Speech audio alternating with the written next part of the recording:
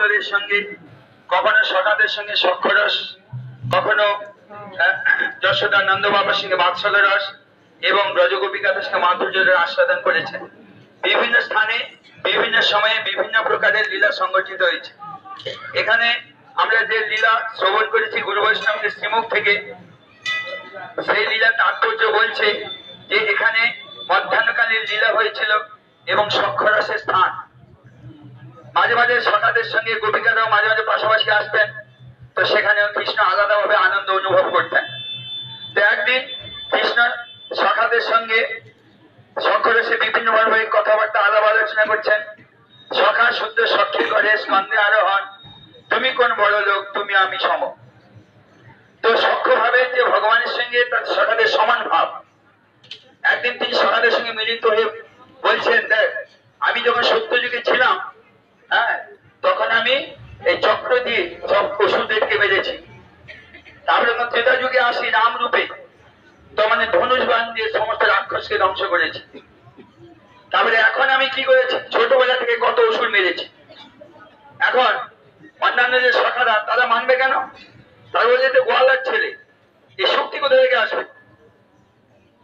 ও কি করে সত্য যুগে হইবি? সুদর্শন চক্র ধারণ করবে ত্রেতা যুগে কি করে ধনুষ ধারণ করবে? এটা কি সম্ভব? ওরা বিশ্বাস করতে পারছে না। শ্রীরাম সেখানে বেশি, শ্রীরামের সঙ্গে কৃষ্ণের বেশি লড়াই হতো। মল্লযুদ্ধ দুজনের মধ্যে বেশি হতো এবং বেশিরভাগ সময় কৃষ্ণ হেরে যেত আর শ্রীরাম জিতে যেত। হ্যাঁ কিন্তু বলরামের মধ্যস্থতায় দুজনের মধ্যে সমস্যার সমাধান হলেও কৃষ্ণ সমস্যাকে চেয়ে রাখতো। বলে, আমি জিতেছি আমি জিতেছি। তাই শ্রীরাম বলছে, তোর কথা কে বিশ্বাস করবে? হ্যাঁ? তুই তো মুখে মুখে বড় বড় ভাগ বলিস অধিকাংশ সময় তোর সঙ্গে যখন আমার যুদ্ধ হয়, তোকে তো আমি হারিয়ে দিই। নিচে একদম মাটিতে কুপঘাত করে শুয়ে দিই। তুই উঠতেই পারিস না। ভাগ্যের বড় ভাই দাউজি ভাই, আছে বলে তুই বেঁচে যাস। তাই কৃষ্ণ বলে আমি প্রমাণ করে দেবো। আর ঠিক আছে প্রমাণ কর। তা কীভাবে প্রমাণ হবে? তো শ্রীরাম বলে, শ্রীরাম, তাহলে তুই গরুর হয়ে যা, আর আমি ভগবান বিষ্ণু হয়ে যাব। এখন, শ্রীরাম গরুর হয়ে গেছে। আর কৃষ্ণ কি করলেন ভগবান বিষ্ণু রূপ ধারণ করে তার পিঠে এইখানে আকাশে ঘুরতে শুরু করলেন। বলল, কৃষ্ণ উপরে।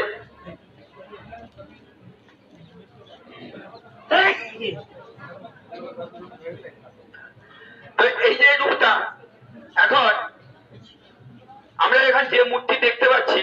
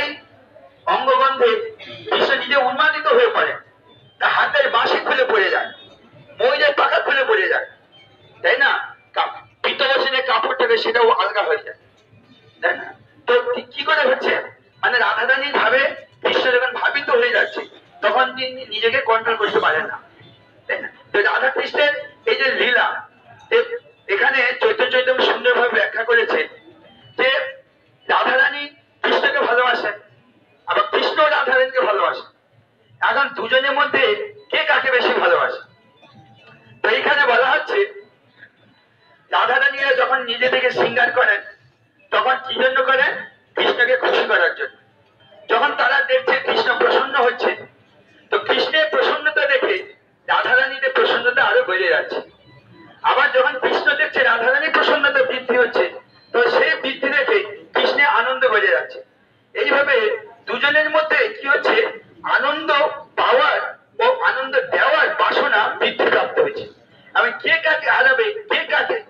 কখন জিতবে। কেউ বলতে পারছে না। কিন্তু আলটিমেটলি কার জিত হয়? রাধা রানীরই জিত হয়। কেননা ভগবান এই যে নরবত লীলা করেছেন হ্যাঁ, পরমেশ্বর ভগবান হয়েও তিনি কি করেন তা ভগবত সত্তাকে লুকিয়ে রেখে সাধারণ গোপবালকের রূপ ধারণ করে এই যে লীলা করে সখাদের আনন্দ প্রদান করেছেন। মত ভক্তি বিনোদ আয় কর্মী বিবিধ ক্রীড়া তার এখানে আসার উদ্দেশ্য হচ্ছে তিনি ভক্তদেরকে আনন্দ প্রদান করবেন। আমরা সকাল থেকে শ্রবণ করে আসছি। কীভাবে তিনি রাধারানীদের সখীদেরকে তিনি আনন্দ প্রদান করেছেন নিজেই তো হেরে যাচ্ছেন, নিজে হয়তো বসন চুরি করেছেন, নিজে হয়তো মাখন চুরি করেছেন, আমাদের চোর বলে বদনাম হয়ে যাচ্ছে, তাই না? হ্যাঁ? আমাদের কেউ কোনো কিছু কিছু চোর, কিছু চুরি করি বা না করি, কেউ বদনাম দিল, কোনোকে আমাদের দোষ হচ্ছে, ত্রুটি হচ্ছে। হ্যাঁ? বদনাম হয়ে যাচ্ছে, পুলিশে খবর যাচ্ছে হ্যাঁ হচ্ছে, তাহলে কয়েকদিন কালকে নাকি আমাদের পরশুদিন পুলিশ এসেছিল খবর নেওয়ার জন্য।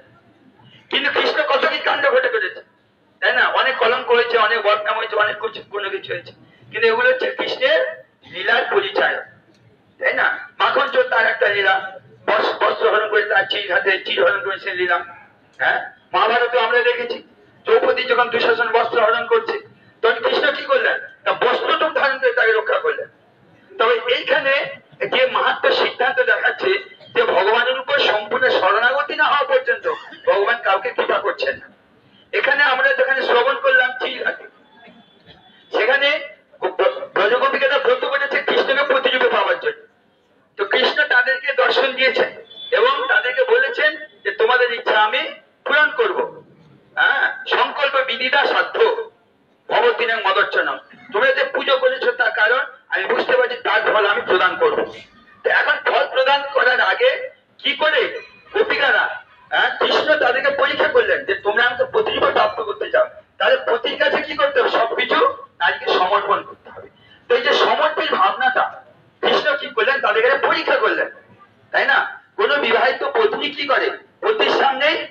কি করে? নিজেকে অঙ্গ বস্ত্র খুলতে পারে? আর কারও কাছে পারে না। এখন ভগবান শ্রীকৃষ্ণকে যে প্রতিরূপে প্রাপ্ত করতে চাও, তাহলে কি করতে হবে? ভগবানের কাছে লজ্জারূপী তোমাদের বস্ত্রকে অর্পণ করতে হবে। তাই না? লজ্জাটুকু বস্ত্রকে অর্পণ করতে হবে। তা সেই সারেন্ডার আত্মসমর্পণ ভাব তিনি সেখানে দেখালেন। তা আমাদেরও কি আছে? যে গুরু বৈষ্ণবদের কাছ থেকে যখন আমরা এসেছি, আমাদের সম্পূর্ণরূপে আত্মসমর্পণ করতে হবে। ঠাকুরের একটা কীর্তন আছে, দৈন্য আত্মনিবেদন ভক্তিত্ব বরণ অবশ্য লক্ষ্মীবে কৃষ্ণ, বিশ্বাস পালন ভক্তি অনুকূল মাত্র কার্যের শিকার, ভক্তি প্রতিকূল ভাব বর্জনাঙ্গিকার। সরঙ্গ শরণাগতি হইবে যাহার, তাহা প্রার্থনা শুনে শ্রীনন্দ কুমার। তা শ্রীনন্দন তখনই আমাদের প্রার্থনা শুনবে, যখনই আমরা তার কাছে সম্পূর্ণ শরণাগত হয়ে থাকতে হবে এই শরণাগতির শিক্ষা আমরা বিভিন্ন লীলা থেকে দর্শন করতে পাই তাই না তো এই স্থানে মাহাত্ম এইভাবে ভগবান সকাল থেকে আনন্দ প্রদান করেছিলেন আমরা এই স্থানকে প্রণাম করি এই স্থানে ধুলি মস্তকে থেকে প্রার্থনা করি যেন আমাদের এই ব্রজের ভাবনা ব্রজের স্বরূপ যেন আমাদের হৃদয়ের মধ্যে প্রকাশিত হয় শ্রী গুরুদেব বারবার বলতেন হ্যাঁ যে রূপ গোস্বামীতে রূপ গোস্বামীর একটা শ্লোক আহ, উদ্ধৃত করে যে তন্নাম রূপ চরিতাদি সুকীর্তনান স্মৃত ক্রমেণ রসনা মনসী নিজস্ব তিষ্ঠন ব্রজে তর অনুরাগে জনানুগামী নয়দম অখিলম ইতি উপদেশ সারম সমস্ত উপদেশের সার হচ্ছে কি? যে বৃন্দাবনের থেকে পরমেশ্বর ভগবানের রূপ, গুণ, লীলা, তার পরিকরের মহিমা স্মরণ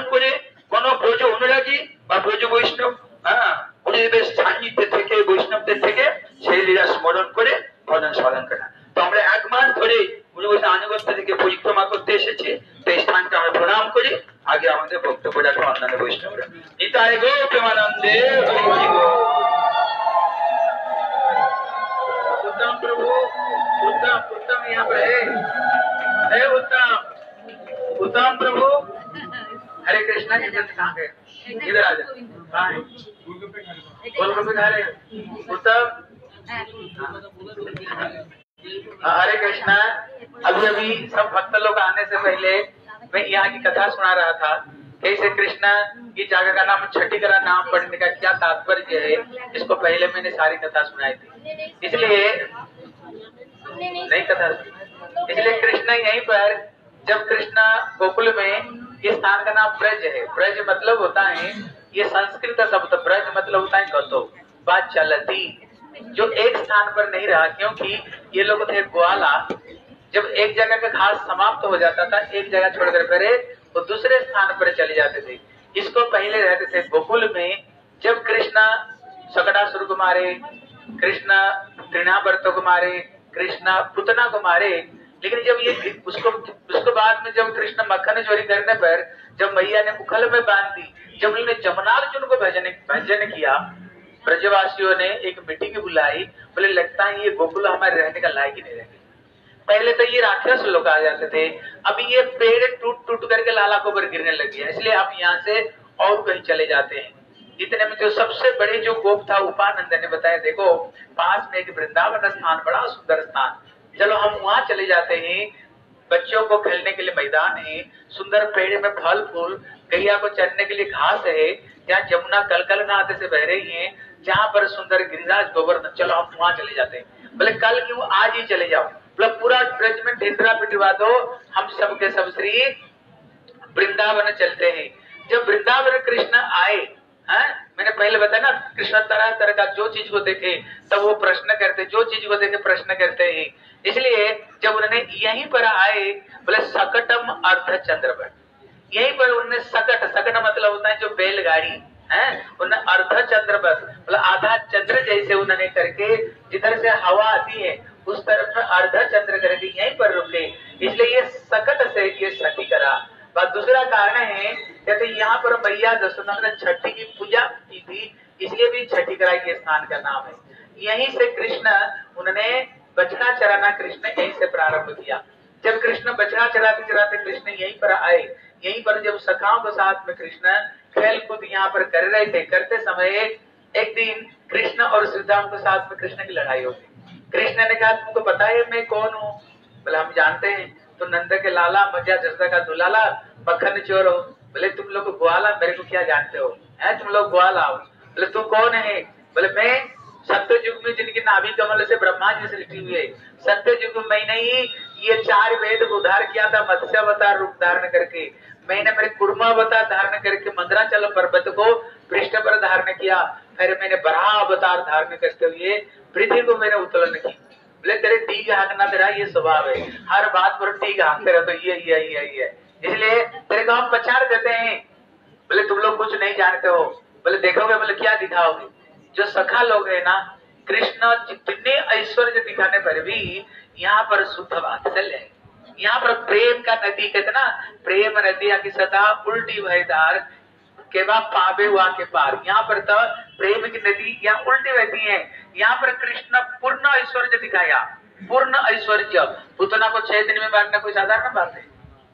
एक महीना में सकटासुर तीन महीना में त्रिनावर्त मारना कोई साधारण बात है? किसी भगवान ने अभी तो कोई किया?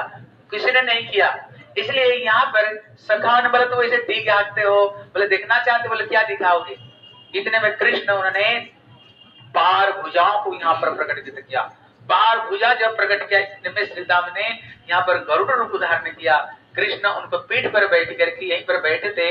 इसलिए जो ठाकुर जी है, इनका नाम गरुड़, गोविंद नाम पड़ गया। लेकिन ये पूर्ण ऐश्वर्य दिखाने पर भी सखाओं का विश्वास नहीं हुआ। क्यों? सखा लोग सोचते हैं, कृष्ण बीच बीच में कुछ ना कुछ जादू टोना दिखा देते हैं। है? कुछ ना कुछ दिखा देते हैं। लेकिन थोड़ी कृष्ण कर सकता है। इसलिए दिखाने पर भी प्रजावासी लोग। विश्वास नहीं करते। क्यों? गर्गाचार्य जब इनके नामकरण किया था, उस खुद बताया था, तुम्हारा जो ये बेटा है ना, नारायण समगुण ही ये जो तुम्हारा बेटा है कहते ये गर्गाचार्य ने एक बात बताया, जो नारायण को अंदर में जो गुण है, तुम्हारी लाला को अंदर में तो सारे गुण है, लेकिन नारायण को अंदर में भी तेरे लाला की कुछ कुछ गुण प्रकाशित होगा। गर्गाचार्य बोलने का ये तात्पर्य, लेकिन नंदवा तो शुद्ध वात्सल रस है, उन्होंने क्या सोचते थे, कृष्ण अद्भुत काम करने पर गर्गाचार्य बताएगा ना नारायण समगुणई ये नारायण का कभी कभी थोड़ा थोड़ा गुण मेरे लाला में प्रकाश होगा। मेरे लाला थोड़ी गिरिराज उठा सकता है। मेरे लाला थोड़ी से बंद कर सकता है। ये नारायण का कृपा से सारे काम को कर लेता है। इसलिए ये ब्रजवासियों को, सखाओं को विश्वास नहीं हुआ, कृष्ण भगवान है। इसलिए ये गरुड़ गोविंद स्थान है। कभी यहाँ पर और एक शिक्षा गुरु जी कहते थे, ये जो श्रीराम ने गरुड़ रूप धारण किया है ना, ये गरुड़ जी को कभी कभी भगवान के ऊपर कभी शंका हो जाती है। जिस जिस समय कृष्ण, जिस समय भगवान राम ने कभी मालपुआ खा रहे थे, मालपुआ खाते समय इतने में काक भुसुंडी उन्होंने आए। जब आए, प्रभु राम ने थोड़ी सी मालपुआ ऐसे दिखाए दिखाए तो काक भुसुंडी ने क्या किया? अपना चोंच में पकड़ कर छीन लिया। छीन लिया तो इतने में भगवान राम रोने लगे वहाँ वहाँ करके रोने लग गए। इतने में काक भूषण के मन में शंका आ गया। बोले, क्या शंका आया अगर ये भगवान होते भगवान थे मेरे प्रभु, और थोड़ी सी मैंने मालपुआ ले लिया तो ये थोड़ी रोते। उनको मन में शंका आ गया।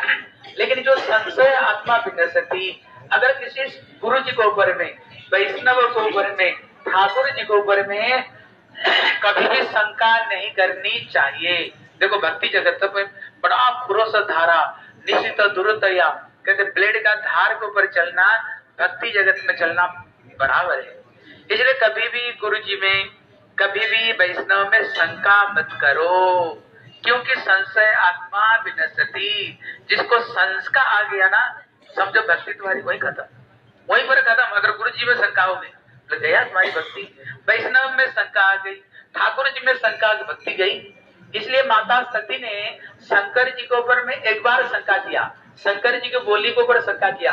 फिर सती को क्या करना पड़ा? लास्ट तक उनको प्राण त्याग, शरीर, अंतिम शरीर त्याग देना पड़ा। फिर वो पार्वती बन करके आई। बोले, शंका इतने गंदी चीज़ है। अभी शंका हो गई किसको ऊपर में? भगवान के ऊपर में किसकी शंका हो गई? बोले काग भूषण की शंका। जब शंका हो गई, इतने में प्रभु समझ गए किसकी तरफ़ शंका हो गया। ये तो गड़बड़ी है, शंका हो गई। इतने में भगवान राम ने इतने में काग को पकड़ने के लिए हाथ बढ़ाया। जब हाथ बढ़ाया, ये काग घुसटे उड़ चला। जब उड़ चला इतने में काग घुसटे ने देखा, ये हाथ उसको पीछा नहीं छोड़ रहा है। उसको पीछा पीछा अब सारा विश्व ब्रह्मांड घूम गया, लेकिन उसका हाथ नहीं पीछा छोड़ रहा है। लास्ट में काग भूषण ने बेहोश होकर के गिरा। जब बेहोश होकर गिरा, गिर करके जब उठा ना, देखा वही राम आँगन में बैठ करके क्या खा रहे हैं? मालपुआ खा रहे हैं। मालपुआ खा रहे उनकी शंका को दूर कर दिए। हम उनकी शंका उसी तरह जिस समय नागपास बंधन में मेघनाथ ने राम लक्ष्मण को उन्होंने बाँध डाले। उसी समय में जब गरुड़ जी आकर के नाग घास बंधन से मुक्ति की फिर गरुड़ को मन में भी शंका हो गई। ये कैसे भगवान है, मैंने आया तभी इनको मैंने मुक्त किया, तभी ये मेरे प्रभु कैसे हो सकते हैं। शंका हो गया तो उन्होंने ब्रह्मा जी को पास में गया ब्रह्मा शंका दूर कर सकते थे। बोले भैया, मैं शंका दूर नहीं कर सकता हूँ। वो शंकर जी को पास में गए। शंकर जी ने, उन्होंने देखा गरुड़ जी का बड़ा अभिमान है। अरे मेरे गरुड़ जी, हम तो भगवान के वाहन है। उसका अंदर में अभिमान था, बोले भैया, चिड़िया का भाषा तो चिड़िया ही समझेगा। चिड़िया का भाषा चिड़िया समझे तो चिड़िया के पास में जाओ। बोले, किसको पास में? बोले, तुम जाओ काक भूषिटी को पास में। अरे गरुड़ ने, अरे काक भूषिटी को पास में गया। काक भूषिटी कौआ, कहते ये जाति में सबसे चट्टाल जो है ना, ये कौआ है। चट्टाल ये चौ, कौआ है। बोले, उनको पास में जाओ। जब उनको पास में गए फिर तो उन्होंने बोले, भैया, मेरे तो शंका हो गया प्रभु का प्रति। जब से शंका हो गया, मेरा हृदय तो सूख गया। मेरा हृदय सूख गया, भजन भजन में मन नहीं लग रही। हरिनाम करने में रुचि नहीं आ रही है। देखो, ये शंका इतने बड़ी, इसलिए कभी भी गुरु जी की, कभी भी वैष्णव ऊपर में, कभी भी ठाकुर जी को ऊपर शंका मत करो। अगर कभी शंका आ गई ना क्या करो, तुमसे, उनसे जो श्रेष्ठ वैष्णव है, उनको पास में जाओ। और ये शंका को दूर कर दो। अगर शंका तुम दूर नहीं करोगे ना, गुरुदेव कहते थे फोड़ा। अगर फोड़ा अगर तो डॉक्टर पास में तुम्हारी किसी गुप्त स्थान में हो गया, फोड़ा। फोड़ा समझते हो बैल हो गया। अगर तुम डॉक्टर के पास में जाकर के नहीं बोलो, फिर क्या होगा? वो फोड़ा बढ़ते बढ़ते बढ़ते बढ़ते पूरा शरीर को ही खराब कर देगा। संपूर्ण शरीर को ही चढ़ा देगा। इसलिए गुरुदेव कहते थे, अगर गुरु जी को ऊपर में अगर तुम्हारी वैष्णवों को ऊपर में शंका होगी ना, किसी श्रेष्ठ वैष्णव के पास में जाओ। जा करके उनसे पूछो और तुम्हारी शंका को दूर करो। जब तक दूर नहीं करोगे ना, भजन धीरे धीरे वहीं से भजन नीचे उतरना शुरू कर जाएगा। करते करते करते करते देखोगे भजन भजन से खत्म तुम्हारी, भजन खत्म हो जाएगा। ये शंका इतनी गंदी चीज़ है है इसलिए इतने में जब उन्होंने काक मुसल्ली को पास में गया बोले ऐसे ऐसे मेरी स्थिति प्रभु राम का प्रति हो गई मेरे काक भूषण भी बताया, मेरे मन में भी कभी ऐसे शंका हो गई थी। अगर कोई व्यक्ति पास में जाओ, किसी सॉल्यूशन के लिए अगर वो बोलता है, भैया, मेरे ऊपर भी यही विपत्ति आई थी, फिर आप क्या बोलोगे? भैया, तुम कैसे मुक्ति हुई? तेरे को शंका से कैसे मुक्ति हुई, बताओ। हाँ? फिर उन्होंने बताए फिर उन्होंने रामलीला की सारी कथा सुनाए मतलब मेरे कैसे शंका हो गई थी, प्रभु राम मेरे को पीछे जो हाथ से पकड़ने के लिए गए, मैं उड़ते हुआ गया। विश्व ब्रह्मांड मैंने भटक गया, लेकिन मेरे पीछा नहीं छोड़ा, जो फिर गिरा। देखा प्रभु जी फिर बैठ करके मार्ग पर उतारे। मतलब जो भगवान है, वो अचिंत शक्ति संपन्न भगवान कृष्ण। इसलिए ये जो गरुड़ जी है ना, इनकी कभी शंका हुई थी, इसलिए यहाँ पर गरुड़ जी, इसलिए यहाँ पर भी कृष्ण के ऊपर भी शंका की। फिर उन्होंने क्या किया? फिर उन्होंने गरुड़ श्रीराम ने गरुड़ बने, फिर भगवान, फिर उन्होंने बारह भुजाओं को लेकर पीठ में बैठे। फिर गरुड़ का सारी शंका समाधान हो गई इसलिए जो स्थान है, ये गरुड़ गोविंद मतलब किसी मंदिर में जाओ, क्या नियम है? गरुड़ को पीछे खड़े होकर के गोविंद को दर्शन करनी चाहिए। क्योंकि जो गरुड़ भगवान की वाहन है, जब तो किसी भक्तों की अनुगत्य हम स्वीकार नहीं करते हैं, हम डायरेक्ट भगवत दर्शन, भगवत प्राप्ति हम डायरेक्ट नहीं कर सकते हैं, जब तक गुरु वैष्णव की जब तक कृपा नहीं हो। इसलिए स्थान का नाम गरुड़ गोविंद है। आप लोग आने से पहले वो मूर्ति उन्होंने दिखाया था, कपड़ा उठा करके दिखाया था, कैसे गरुड़ जी के ऊपर में, है, कैसे भगवान, कैसे बाहर भुजाओं को प्रकट करते हुए, कैसे ठाकुर जी बैठे हुए, इसको वज्रनाभ ने जहाँ जहाँ कृष्ण की लीला स्थली, कृष्ण जैसे जैसे लीला की, इसी लीला के अनुरूप उन्होंने ऐसे ऐसे विग्रह स्थापन किया। परवर्ती समय में पता चले ठाकुर कहाँ कहाँ क्या लीला की। इसलिए हम लोग आज परिक्रमा का लास्ट परिक्रमा का, हमारे वृंदावन परिक्रमा, इधर का जो परिक्रमा का आज लास्ट दिन है। आज हम किसका दर्शन कर रहे हैं? लास्ट में गरुड़ गोविंद है ये गरुड़ जी, ठाकुर जी के भक्त हैं, इनके चरण में प्रार्थना करेंगे। जब तक इनकी कृपा नहीं होना तब तक गोविंद का भी कृपा नहीं होगी। बोले श्री गरुड़ गोविंद की बोले श्री कृष्ण कन्हैया लाल की पिताई गौर प्रेमानंदे हरि